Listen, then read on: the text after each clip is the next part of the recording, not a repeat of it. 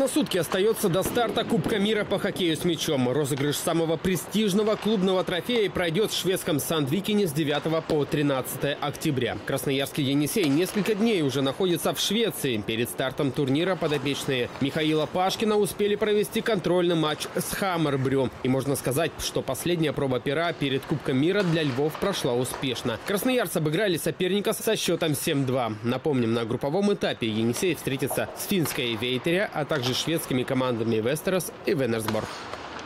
Ну а хоккейный «Сокол» вновь потерпел неудачу. Пернатые на выезде уступили воскресенскому «Химику». Хозяева большую часть матча играли в меньшинстве, но сибиряки не сумели ни разу реализовать численное большинство. Как итог, проигранный матч по булитам.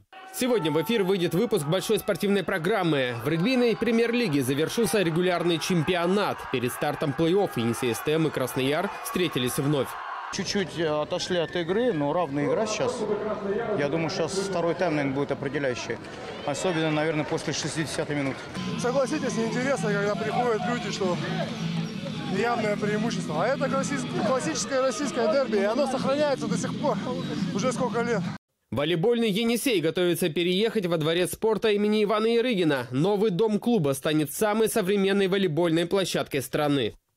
Он соответствует всем не просто российским, он международным требованиям соответствует. Здесь можно уже, за, за исключением некоторых штрихов, прямо завтра проводить чемпионат мира. Лидер мирового зачета по пулевой стрельбе Юлия Зыкова претендует стать первым представителем края, кто примет участие в Олимпийских играх. Как думаете, Юлия Зыкова для соперниц – это страх, это волнение? Ну, после этого сезона я думаю, что да. Вам это льстит? Ну, немного, немножко да. Это прибавляет уверенности какой-то себе.